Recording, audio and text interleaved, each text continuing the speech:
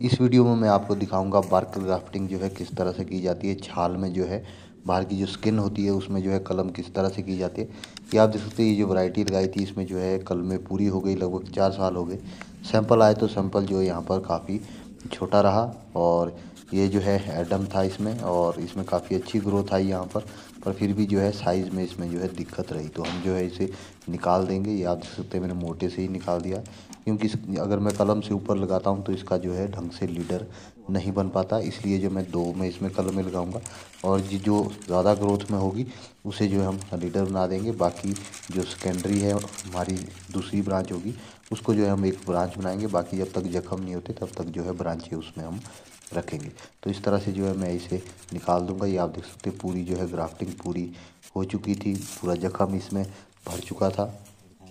अब जो है हम इस तरह से काटने के बाद इससे जो है ये साइड में आइज़ें होती है इसको निकाल दे फिर ऊपर से जो है आपने इसे साफ़ स्किन को जो है साफ़ कर लेना है क्योंकि जो है ऊपर बुरबुरा होता है आरी से उतना साफ़ नहीं कटता और फिर इस तरह से जो है आपने इसमें एक लंबा कट लगा देना है और स्किन को जो है ऊपर उठा देना है उसके बाद जो है ग्राफ्टिंग किस तरह से बनाते हैं वो भी मैं आपको दिखा दूँ ग्राफ्टिंग आप जो है कोई सही सिले इस तरह से एक लंबा कट हम मार देंगे फिर इस तरह से जो है आगे वाली साइड मोटी रखेंगे, पीछे से जो है इस तरह से हम इसे मोड़ देंगे। फिर जिस साइड से मिलाना है, वो साइड मोटी रखेंगे।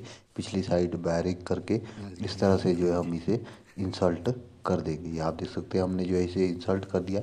पीछे से भी हम कट कर देंगे, ताकि पीछे से भी ये जो है सैब ले सके। उसके बाद जो हम बैक साइड से इसे जो है पहले दबाएँगे नीचे को इस तरह से हम जो है दो तीन बार इसे नीचे को दबा दबा देंगे ताकि ये जो है पीछे से जो हमने इसमें छिलका दिया है, ये ऊपर ना उठ सके। तो अच्छे से जो है आपने इसे एयर टाइट कर देना है। हम इसे जो है बिल्कुल अच्छे से एयर टाइट कर देंगे ताकि जो है इसमें कोई भी गुंजाइश ना रहे।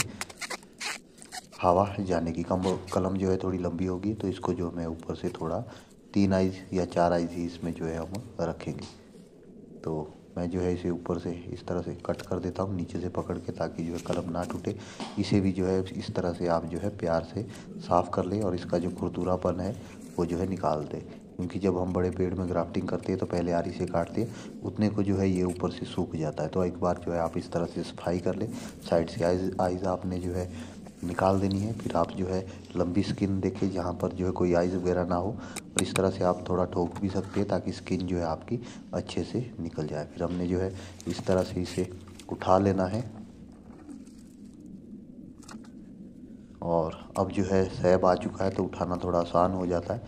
तो इस तरह से इसे भी जो है मैं पीछे से मोड़ दूँगा। साइड से जिस साइड मिलानी है, वो मोटी साइड हम रख देंगे, जितना आपने जो है ये काटा हुआ है। बाकी इसमें जो है तीन आइज़ ही हम ऊपर रखेंगे। इस तरह से आपने जो इसे प्यार से इंसल्ट कर लेना। है ये आप देख सकते हैं बिल्कुल परफेक्टली ये जो है जुड़ चुकी है। उसके बाद जो है हम साइड से इसे जो है कट कर देंगे। फिर बैक साइड से दबाना है। दबाना जो है मेन रोल इसका दबाने में भी है, क्योंकि अगर पीछे से ये ऊपर उठ गई तो आपकी जो है स्किन पीछे से नहीं जुड़ पाएगी, जिसके लिए जो है ये हमने पूछ इसमें लगाई है। तो अच्छे से जो है आपने इसे रैप कर देना है।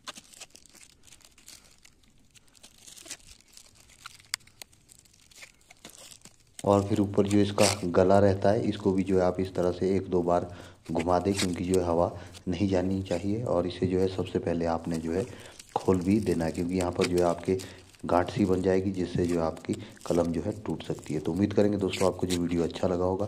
फेसबुक पे वीडियो देख रहे हो तो चैनल को फॉलो करना ना भूलें। यूट्यूब पे देख रहे हो तो चैनल को सब्सक्राइब ज़रूर करें।